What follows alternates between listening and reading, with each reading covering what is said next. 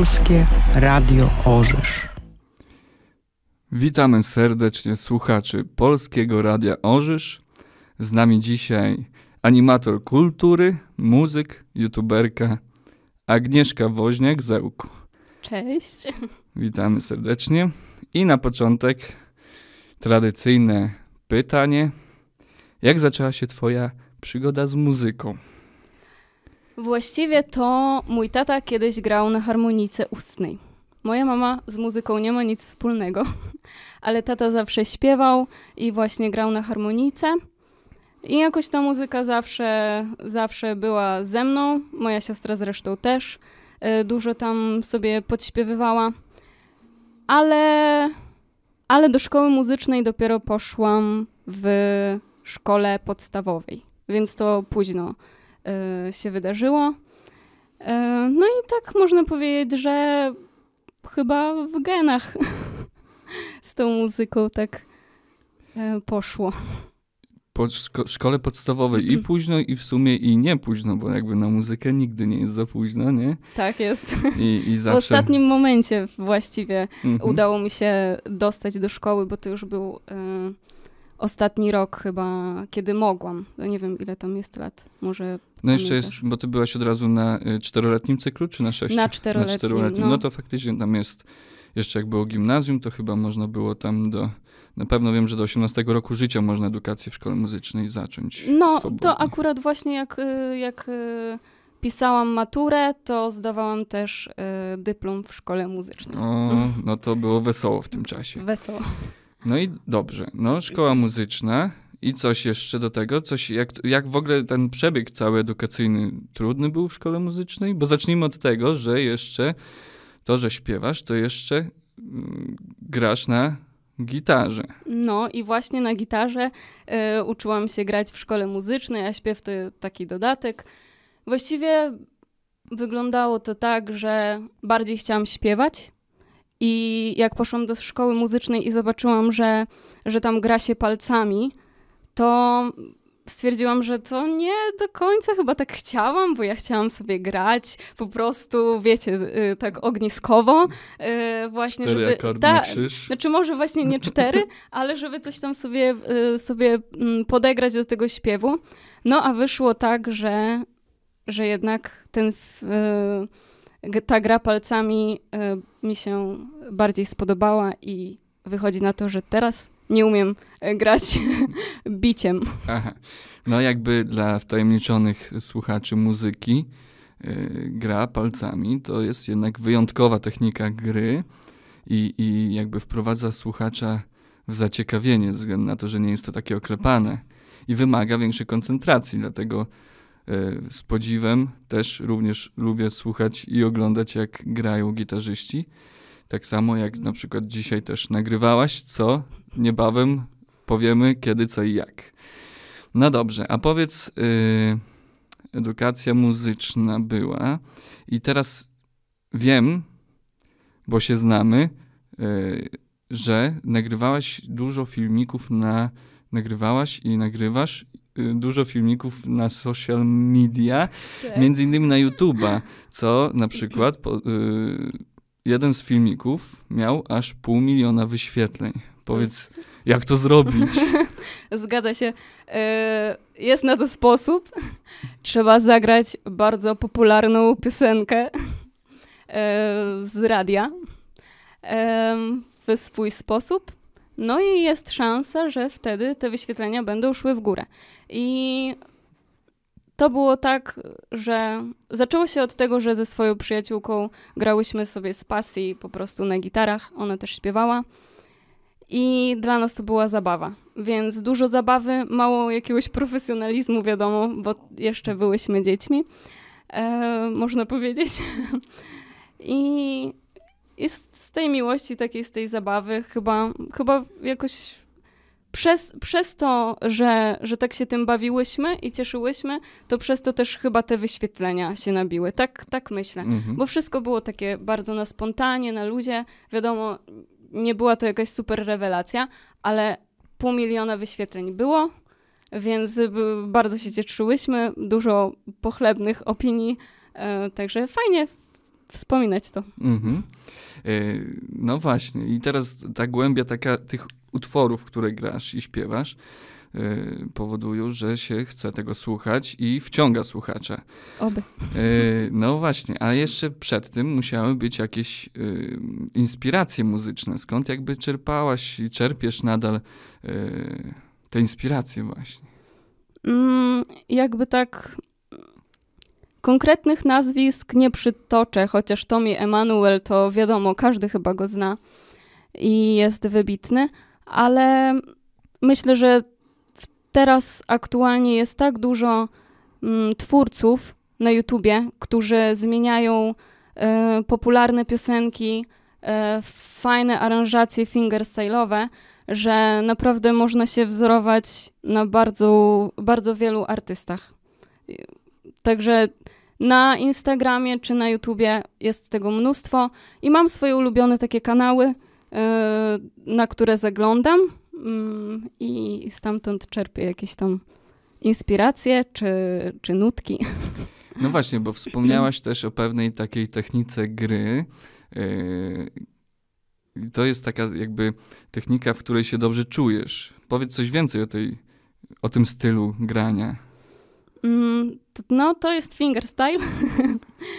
I to jest fajne, że wystarczy jeden instrument, a odgrywasz po prostu wszystko. Czyli e, podkładzik i linia melodyczna, e, wszystko, wszystko zbierasz w jedność i, i wtedy wychodzi właśnie fajny numer. Dodatkowo można dodać jakieś tam e, bicie w pudło i takie inne fajne Smaczki. rzeczy. Czyli wychodzi na to, że gitary, jednej gitary, Cały zespół stworzymy. orkiestra Tak nawet, nie? jest. To jakieś perkusjonalia, to jakiś basik, tam e, linia melodyczna, harmonia. No właśnie, to jest instrument, który nie zna swoich granic. I każdemu, kto gra na gitarze, zazdroszczę.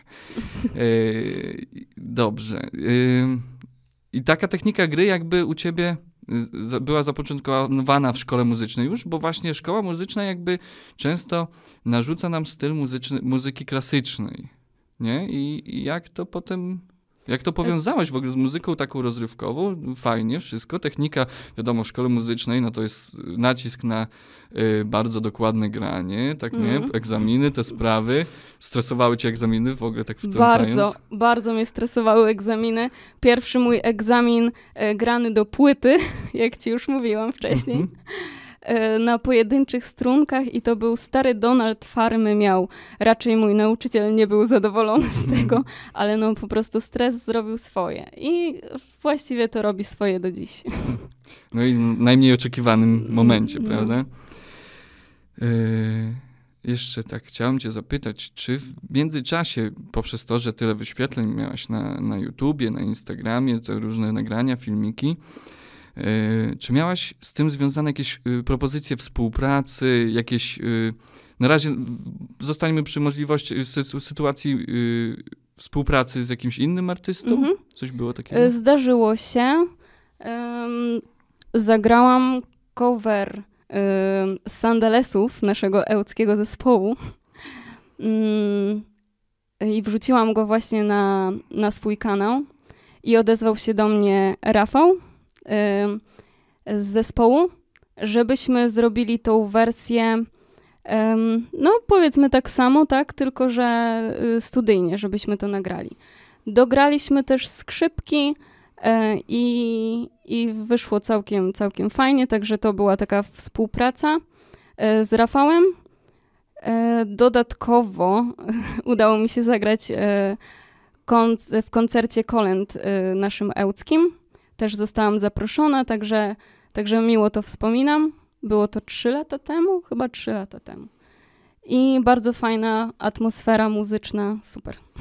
Czyli nawet jak ktoś nagrywa dla siebie, za bardzo się z tym nie, y, nie pokazuje, to jednak jak gdzieś tam coś się wrzuci, to się jednak odzywają. się okazuje, że tak. A teraz mi się jeszcze przypomniało, że kiedyś z Frikinami, z waszym zespołem, graliśmy też na jakimś koncercie i ja wtedy z moją przyjaciółką e, grałyśmy przed wami na Aha. gitarkach. I, I ten koncert wyszedł nam bardzo fajnie, więc może się przyczyniliście do tego. Aha, no to, no to miło, miło nam z, jakby z tej strony. No, O, fajne. sobie przypomniałam. Yy, no ale nie udało nam się zagrać razem, no to, to, to No. jest, ale jeszcze nic straconego. Yy, super, a w jakichś yy, ciekawych takich miejscach miałaś yy, możliwość się pokazać, wystąpić? W ciekawych miejscach jeszcze. A jeszcze, jeszcze grałam raczej kolendy.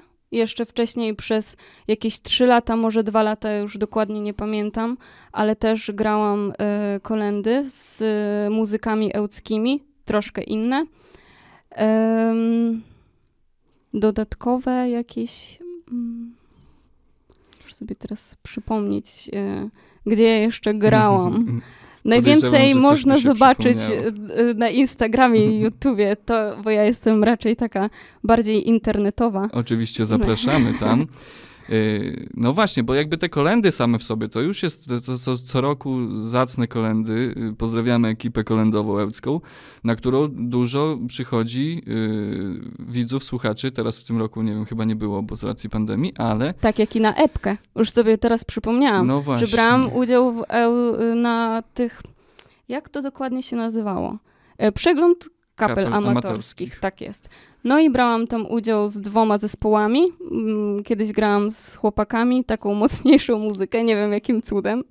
Dobrze, doświadczenie ale- trzeba zbierać, bardzo dobrze. Tak, to właśnie a propos tych występów, to mi się przypomniało. E, zdobyliśmy nagrodę publiczności z jednym z zespołów. E, I co jeszcze?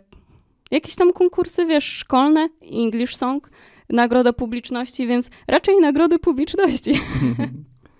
No tak, bo, no, ale y, widzisz, jednak ca- cały czas coś tam się ukazuje, gdzieś No tam się tam. udaje nam przy, po- przypominać. Dobrze, fajnie. Y, masz jakieś plany na przyszłość związane z muzyką? Em, jak teraz tak sobie poodkopywałam te swoje e, nagrania, to pomyślałam, że warto by było wrzucić dużo, dużo więcej tych nagrań, więc myślę, że jeśli chodzi o plany, to raczej właśnie takie krótkie filmy na YouTube, e, tylko w jakiejś właśnie fajnej aranżacji. No, myślę, że raczej w, w tą stronę. Mhm. No bo jakby nie patrzeć jednak gdzieś tam w tym naszym takim biegu codzienności, takiego życia, ta muzyka jednak y, daje nam dużo takiej otuchy, y, przetrwania w trudnych chwilach, tak? Można się też jakby utożsamić z Po tym, to że ona jest. No. się wgłębić i oddać swoje serce. Dobrze, no właśnie, a szkoła muzyczna pierwszego stopnia, okej, a jakieś wykształcenie jeszcze wyżej muzyczne albo związane z kulturą, coś takiego y, miałaś, robiłaś, skończyłaś jakieś studia? Y, Skończyłam studia pedagogiczne, właściwie pedagogika szkolna z animacją kulturalną. E, Na razie złożyło się tak, że nie pracuję w zawodzie, e, ale tak, to, to jest mój, mój kierunek, mo- moje wykształcenie. Mhm. No i Także kto wie, może czas na zmianę. No właśnie, no właśnie. Jakby ludzi kultury potrzeba cały czas, a jeszcze szczególnie takich ludzi z dobrym sercem do muzyki i wrażliwością. No cóż, a mamy przyszłość muzyczną. U nas zawitałaś. Yy, oczywiście. Yy, Bardzo mi miło. yy, Dziękujemy, że do nas yy, dotarłaś i z nami tutaj teraz tworzysz, znaczy w sumie my z tobą tworzymy dla ciebie i z tobą piękne rzeczy. Co za tym idzie? Zapraszamy Państwa na koncert walentynkowy, wy, walentynkowy w wykonaniu Agnieszki, który się odbędzie w najbliższą niedzielę. Dobrze to są mówię? walentynki chyba, nie? Walentynkowy, tak, tak, właśnie. To jest koncert to jest w klimatach niedziela. walentynkowych. Bardzo sentymentalny, bardzo taki że tak powiem, z serca zagrany spokojny, koncert. Spokojny. Delikatny, subtelny. Z pięknymi dźwiękami, a wiem co mówię, bo słuchałem. Bardzo miło się słuchało. Już w tą niedzielę najbliższą. Yy, także moim i Państwa gościem yy, z przyjemnością muszę stwierdzić była Agnieszka Woźniak.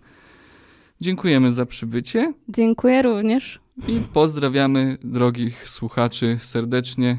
Do zobaczenia, trzymajcie się. Hejo, hej. Cześć.